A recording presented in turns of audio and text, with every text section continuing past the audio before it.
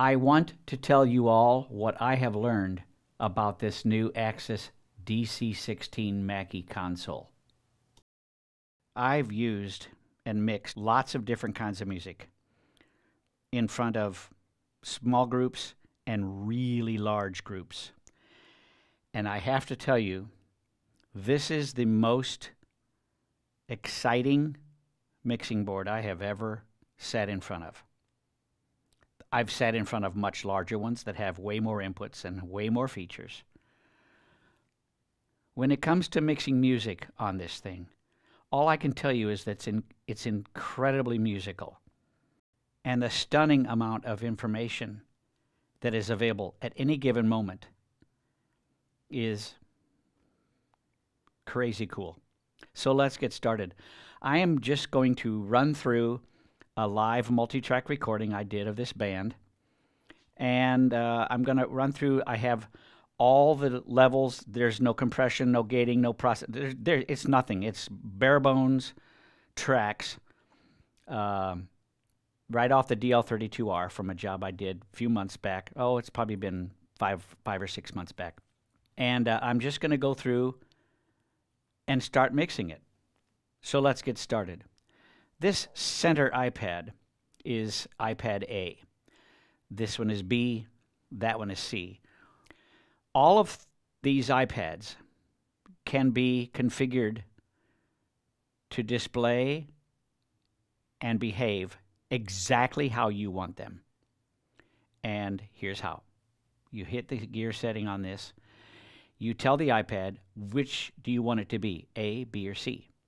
And I want this one to be A there is one menu here and it says current selected channel.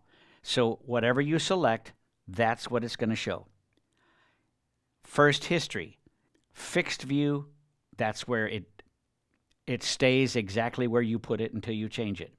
Or the advanced, that's for me. Just kidding.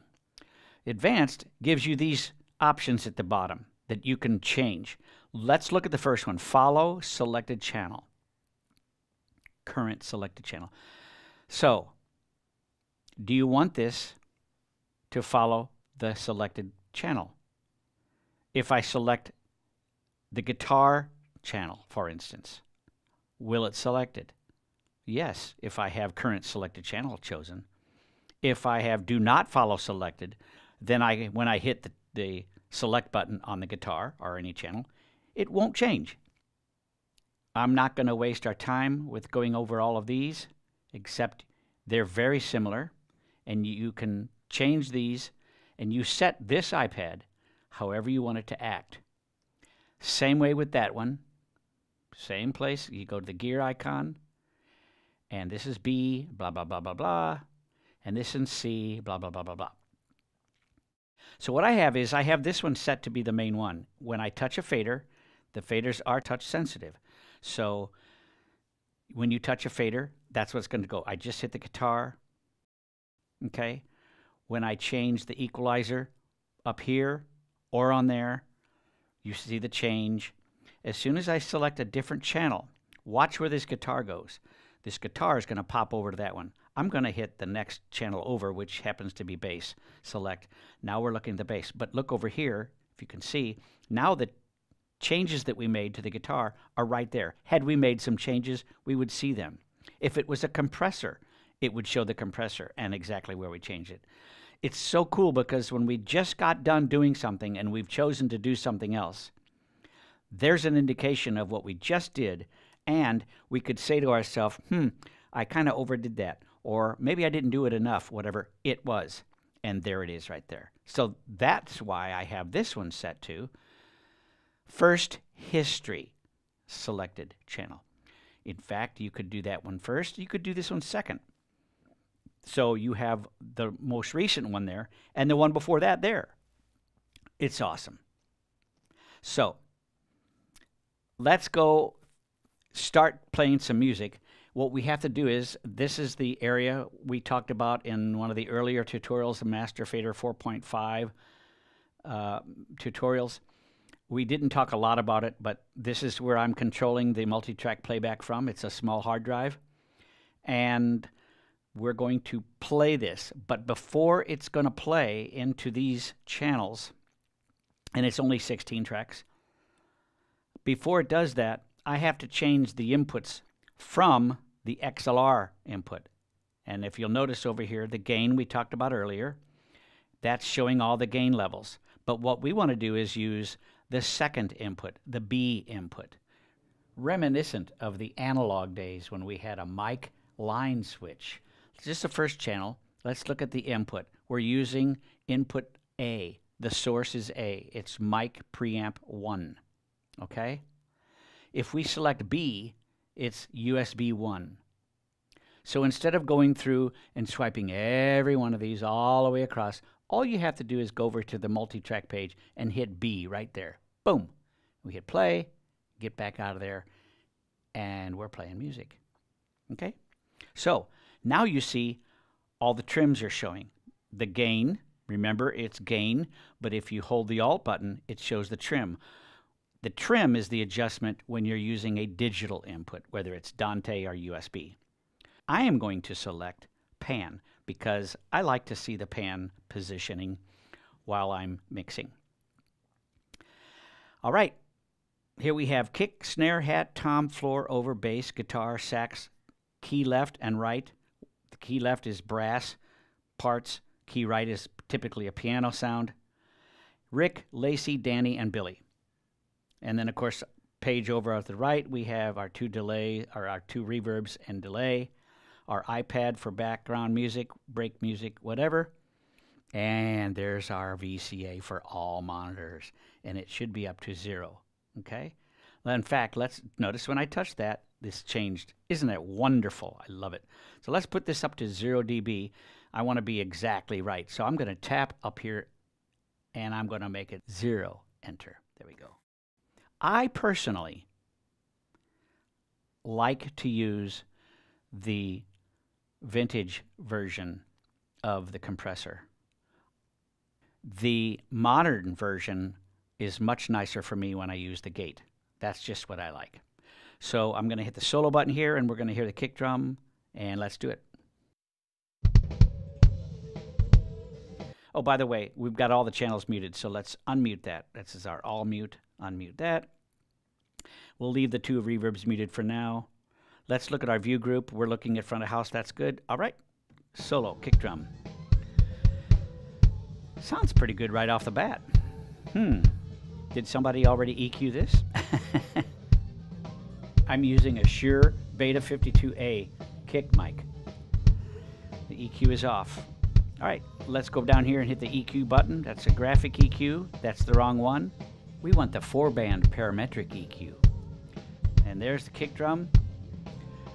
And we can see over here on this iPad the view of the spectrum of the bass drum.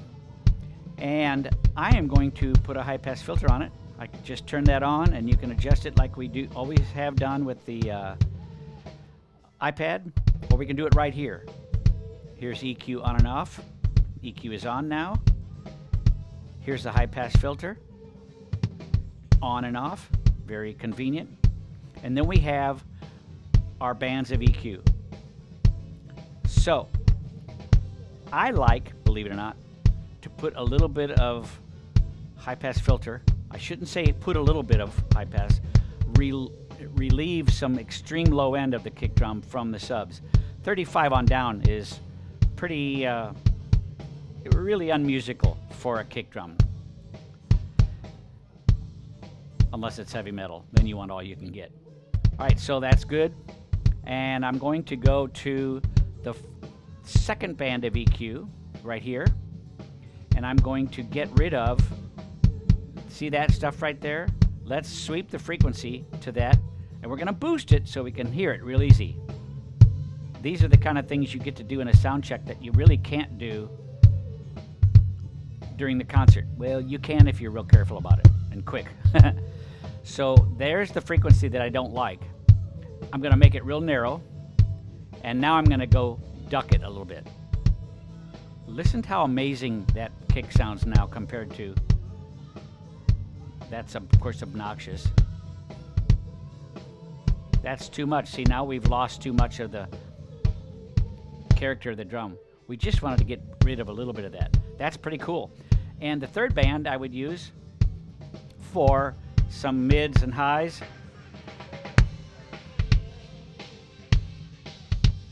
Again, I'm boosting like crazy just to dial in and hear it really good. That's the frequency that I may want later. Probably not quite that wide. I'm going to turn it back down. Now, if I want to put this all the way back to, to flat real quick, all you have to do is hold the Alt and Shift button, move the gain knob just a skosh either way, and it takes it right back to flat.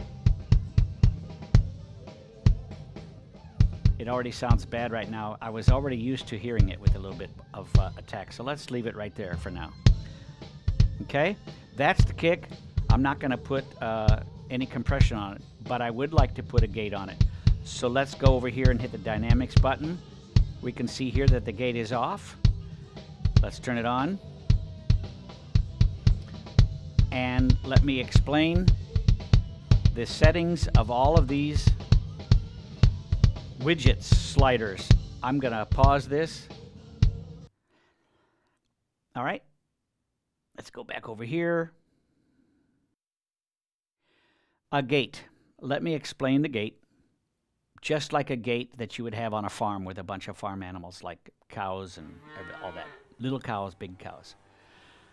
It's a crazy analogy, but I use it all the time. If the cow is big enough and it pushes against the gate, it has enough authority to open the gate. The threshold adjustment, right there at the top, is where we adjust how big a cow it, it has to be for the gate to open.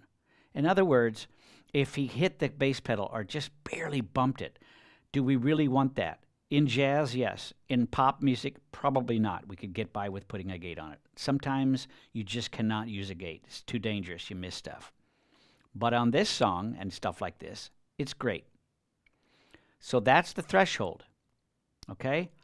And here's the knob for the threshold right there. There's a knob right there for it. And that adjusts how big the cow has to be. How loud does the kick drum have to be? I know I'm repeating myself. We set that so that when the drummer is not playing the bass drum, the mic is shut, the gate is closed. Okay? L the next thing down is the range. If you take and move this range up and down, you can see right there that when the gate shuts, it's not going to shut all the way. It's only going to close a little bit. The farther over you have the range, right there, it's going to it's going to close it all the way. If you listen to just the kick drum, you would hear absolutely no kick. It would be completely gated. So it's neat because you don't have to open and close a gate. A gate can be used to open and close partly. So you can lower the sound of the junk that's going on in the background while the drum is not being played, which is really cool. I kind of like doing that instead of closing it all the way off. So maybe somewhere just about right there. The attack is exactly that. How fast do you want this gate to respond? How fast do you want that gate to open when he hits the kick? If you have this slid all the way over to, oh, let's say 164 milliseconds? Well, that's over a tenth of a second. The bass drum would probably be done already. At least half of it would have already happened, and the gate wouldn't have opened. It would have opened way too late. We want the attack to be as fast as possible because this is a percussive sound. Next thing down is the hold. Once the gate opens, how long does the gate hold open before it begins to shut. We would want to adjust that hold time, and you can see when I move it, it moves up here in 183, that's 183.3 milliseconds. It shows in milliseconds. There are a thousand milliseconds in a second. Sorry if you already knew that. But that is how long the gate is going to stay open fully until it begins to shut. Once that amount of time has passed and he hasn't kicked the drum again, then it goes down into the release. Now, does it slam shut or does it fade down? So if it's a kick drum, the kick drum is going to go boom, boom, boom. A floor tom, for instance. It's pretty long, almost a second long. So if it was a kick drum, we would want the release to be eh, pretty short. If it's a floor tom, we would want it to be considerably longer. So let's play this kick drum and let's tweak these settings and listen. Disregard the compressor at the bottom.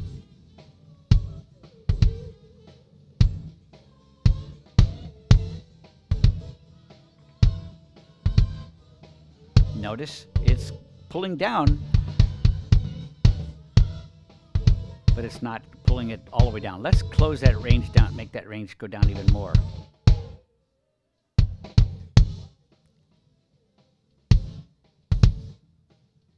Here's what I'm going to do.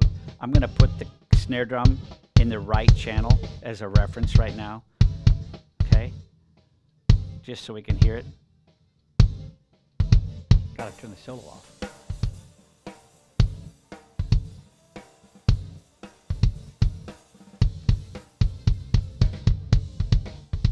Okay?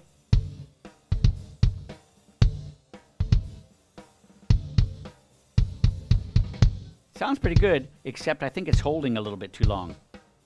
Let's listen. Again, some more, sorry.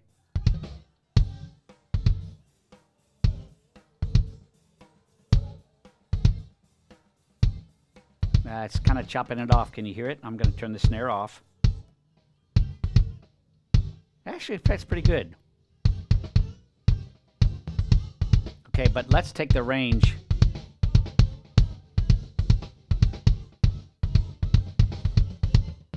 He was playing a lot of kick drums there. A lot of pedals.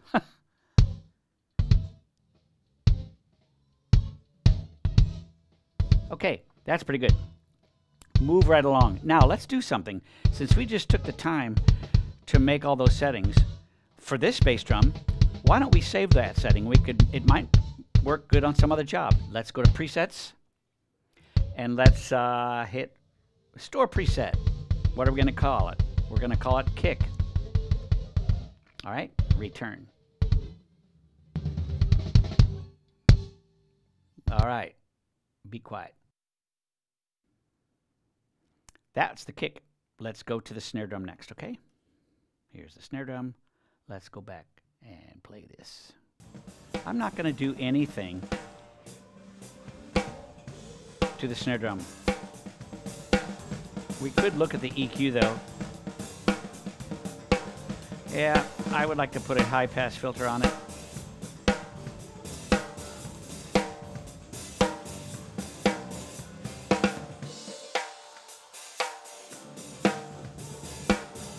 We're not going to need anything low end from the snare drum, so we can filter some of that out. That'd be a good thing. All right, let's uh, listen to the hi-hat. God, I got a lot of low mids and stuff in there. Let's get rid of that. Turn the high pass filter on.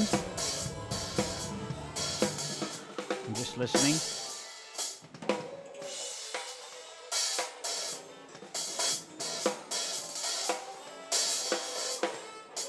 Good.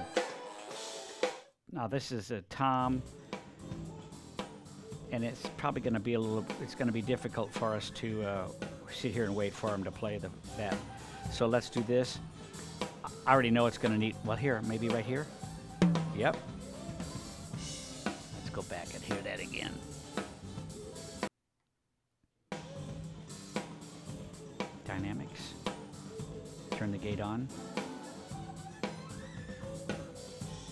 See if we have a preset for toms. For tom. Oh, I do.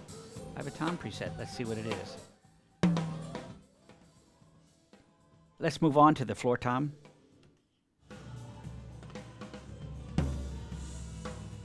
Definitely need some EQ on this. Every time the bass drum's beater hits the skin of the bass drum, the floor tom resonates. It constantly rumbles. High pass filter. Uh, we can look at the value up here. Oops.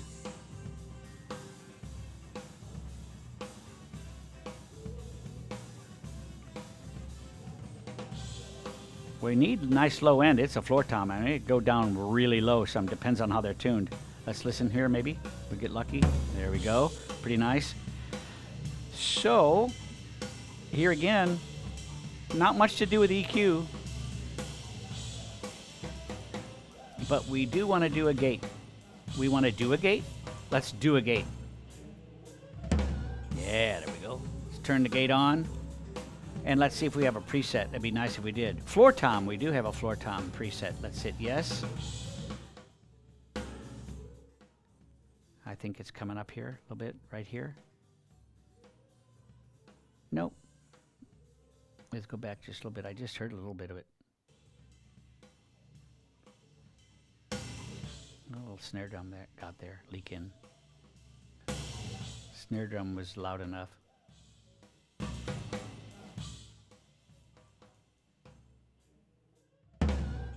That's good. Let's look at that one more time and notice how long it takes for that. It goes boom. It's nice. It fades it down. It opens fast and fades it down. Listen. Here it comes. Nice. It could have actually released faster. Let's play that one more time. Like, hey drummer, would you do me a favor and hit that floor tom? It's pretty cool. Let's move on. Uh, let's do the overhead. Uh, let's do the overhead. Um, EQ again. High pass filter. Good enough. We don't need to boost the high end. It's a good, nice condenser mic. Good. Bass guitar. Let's listen to the bass guitar.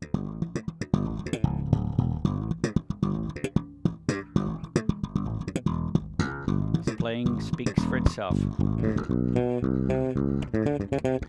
And lots of mids, and that's a lot of bass players have lots of mids these days, but I'm going to tweak it the way I think it needs to sound. I have to respect his wishes for his sound, but he has no idea what his bass sounds like through my system, so I have to be the judge of that. Let's hit EQ. Let's turn the EQ on right there. Buzzing going on. Let's use band 3. Let's find the frequency. There's that buzzing. Listen.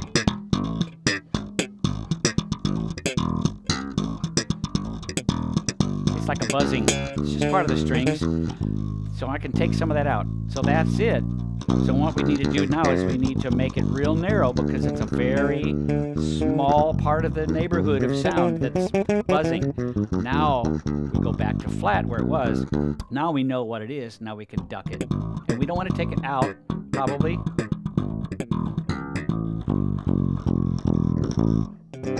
Actually, we need to we need to uh, make it a little bit wider, the bandwidth. Oh, I'm on the wrong thing. Frequency, band. Here we go.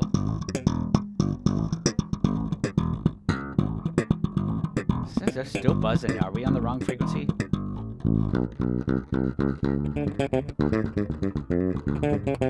Yeah, I think we were a little bit too high. All right. Now let's put a high pass filter on it. You're going, huh? Why would you put a high pass filter on a bass guitar? Well, because if you ever look at a spectrum and look at what's going on on the bass with all the low frequencies. Lots of times, and not always, there's some really nasty, extremely low frequencies going on down there. Naturally, we're going to have that sub, that uh, bass going through our subs. We don't want our subs making blowing a bunch of junk that's not music. We want the notes. So Let's see what frequency we want to dip this at. This is showing 40 right here. It's nice. It shows it up there, of course. You can see it up there. But it also shows right there. I don't know if you can see that. It shows 60, whatever. I'm going to say about 35 on down. That'll certainly get his low B. Actually, just a little below 35 hertz. So that's a good EQ for the bass. I'm going to save this preset.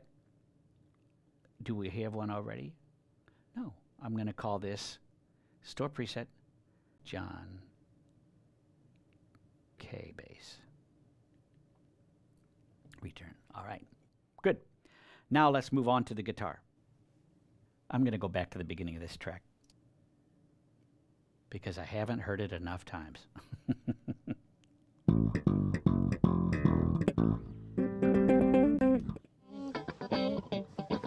It's a nice sounding Sennheiser microphone made for guitar cabinets. It's a E906 or a 609, either one. They both do a great job.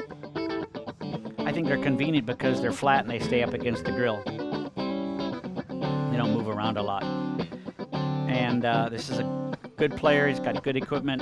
So right off the bat, until I have a need to, I'm not going to compress it, and I'm certainly not going to put a gate on it. So I'm going to leave it alone. Let's move on to the sax. Oh. Wow.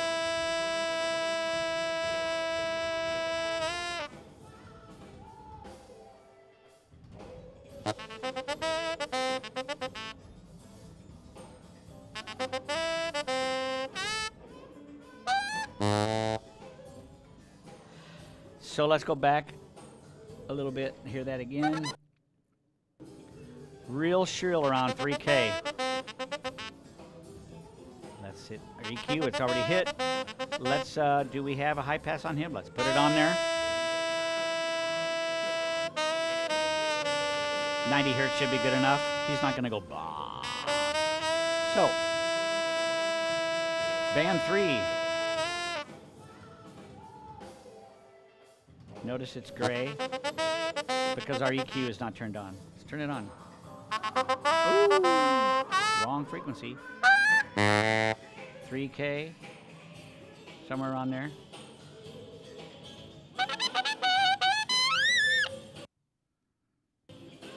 Let's get rid of that 3K. Ooh, wow, that hurts. Here's where it was. Too much of a dip in it. Man, I need to cut 3K on my own voice. It's killing me. I don't want to cut too much of it. I mean, it is supposed to sound like a saxophone. The sax, not me. All right, so uh, that's the sax. Now let's listen to the piano.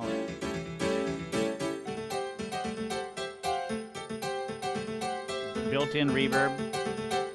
Yeah, I was wrong. I should have taken a stereo out. At least it would be in stereo. But we can always put reverb on it, make it stereo. That's good enough. And Rick's vocal.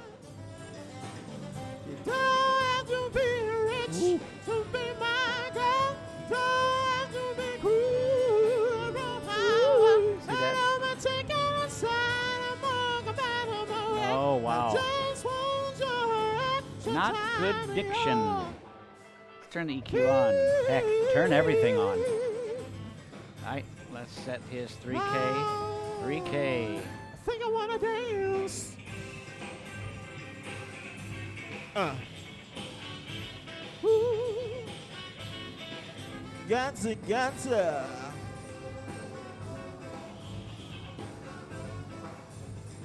Little girl when it's High pass filter. He's not going to go down to 80 hertz. Let's put him at 100. Well, we'll give him Oh, 85 hertz. gotcha, gotcha. That's good. Woo! Ooh, let's go back and put a Uh. compressor on that because that was pretty hot. Uh, All right, let's go to his compressor. Let's go to dynamics. Let's turn the compressor Gotcha, on. Oop, that's the gate, sorry. Compressor on. We want a fast attack, little release, medium, not fast. This singer's dynamic range is quite extreme. So I'll use a high ratio Oh, setting, probably gotcha, 12 to gotcha, 1. gotcha. When he sings really loud, we wanted to pull a lot back. Uh, If we had a lower ratio, when he hits the threshold, it would pull back just a little bit. when he hits the same loud note, now it's going to pull back even more. 8 to 1 would be even more.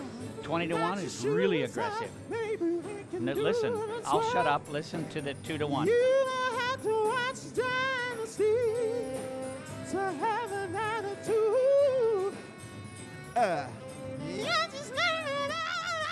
20 to 1. Look at how it's pulling him back. Too much. Still want him to have good dynamics, just not excessive. Now it's. He's singing so loud that we're losing gain, but that's okay. We need to increase the gain. This picture, which is now smaller, raise it back up so we can hear it. It's the gain. A lot of compressors call that makeup gain. The problem with too much compression is when he's not singing, if it's staying compressed, when he quits singing, it releases.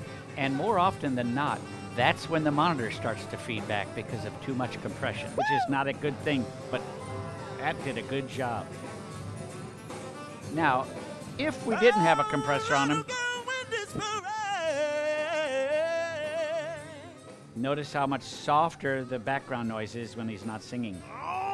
Oh, gotcha, gotcha, gotcha, yeah. Compar- Ooh, that, that hurt though. Uh, So notice that's pulling up all that junk in between. What we could do is we could have a much slower release. Let's do this. Let's put, uh, let's make a preset out of that, and let's call that Rick. Do we have a Rick? No, we don't. Store preset, Rick. And notice how nice it is that we don't have to say Rick comp because we just saved this preset for that compressor, not the gate, not the channel, the preset for the compressor. In the interest of time, let's go to Lacey's voice, her channel, okay? There she is. And let's just paste Rick's uh, preset in there and see how it does. We'll know it when she starts singing. Let's turn the reverb on. Not the big ballad reverb, just the smaller reverb. And let's take a look over here at that reverb. One, there's the master, it's turned up. And uh, these are the levels that are going into it. Kick just a little bit, contrary to the fact that everyone else in the world, most people don't ever put kick drum in reverb. I think you should. If you ever listen to lots of recordings that sound really killer, there is a little bit of reverb on the kick. It should sound like it's in the same place as everything else. It shouldn't sound all by itself. Snare drum should have reverb. Yes, it does. Hi hat, it's too wishy washy. Other junk in the background. Toms should have some and they're gated, so we can actually run those up kind of nice. But you don't need a lot of reverb on toms if they sound really good. Overhead, definitely not. Bass guitar, yeah, maybe a little bit. Guitar, mm, good amount. Sax, even more than anything else. And uh, brass parts from the keyboard, yes. Uh, key, right, the piano, eh, just a little bit. And then vocals, yeah, it's good. And that's the send. Now, let's look at the second reverb, the ballad reverb. Uh, tom, floor, big floor tom, yeah, reverb. Bass, now maybe just a skosh, but we have to be a little bit careful on this one because this is a ballad. We don't want those bass, the bass to go all over the place. Uh, sax, uh, but it's pretty good. Go back to our left and right mix, and now let's play so we can mix with some reverb. Ah, yes. Let's listen to what this uh, snare drum sounds like with just the reverb. We're going to go to the snare drum channel and we're going to take it out of the mains. That's the main button right there. So that's the snare drum going to the reverb, but not to the mains. Now we're going to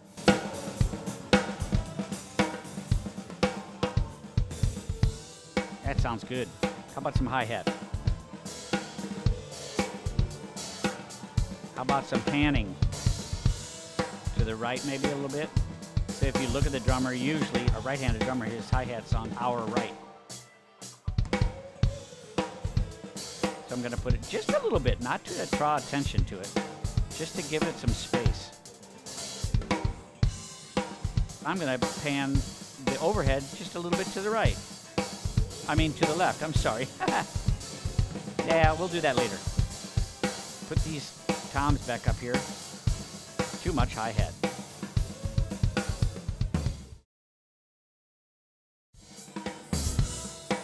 All right, now let's keep going. Bass.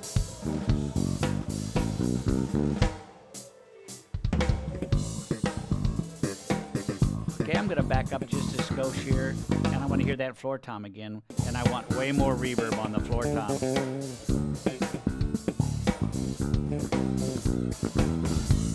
Ooh, that was too much. Here we go. Coming up.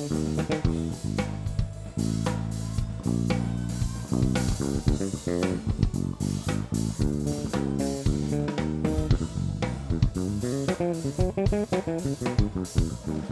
for the reverb on the floor here. It's still not enough.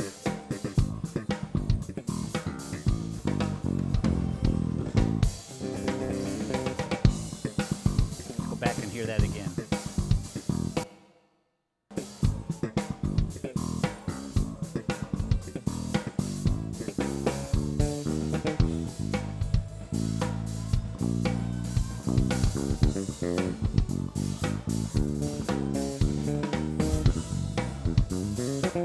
Yeah,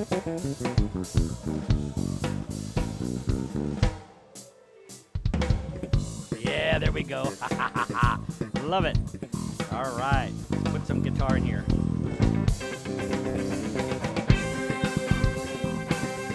How about panning it to the left? All right.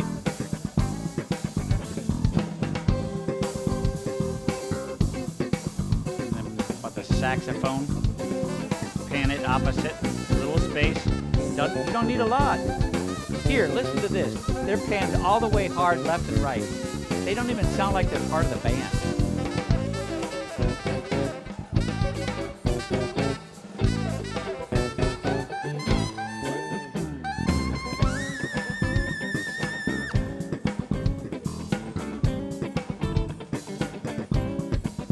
All right, and now let's add the piano.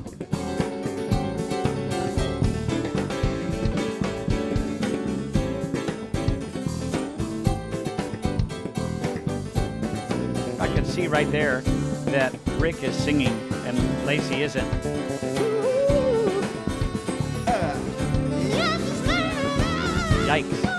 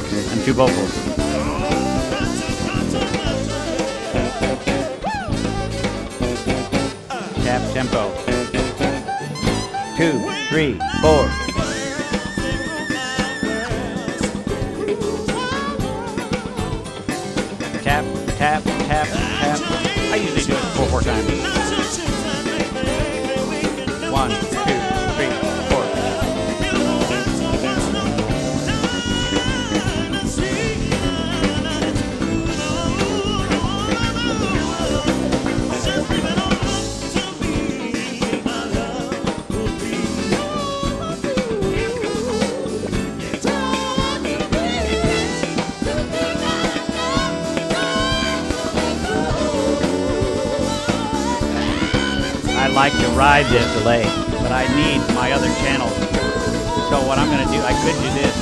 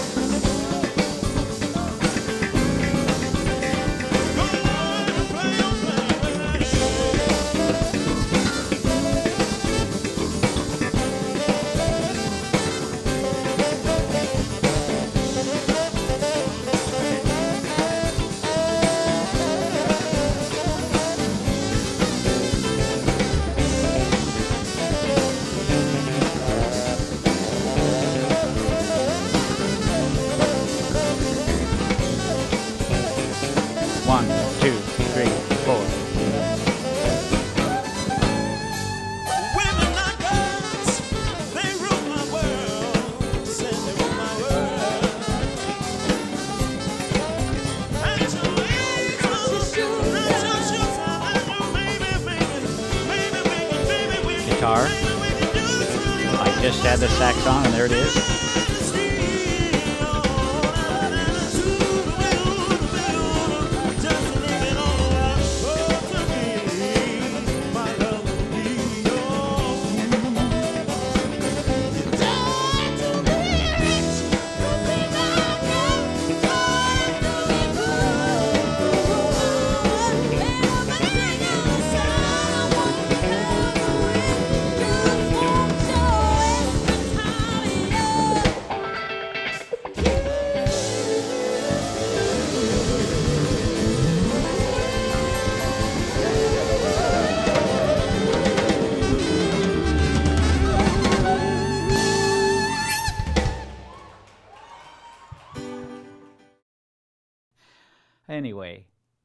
Price of admission was right on the money. And so is this mixer by Mackie. Wasn't that corny?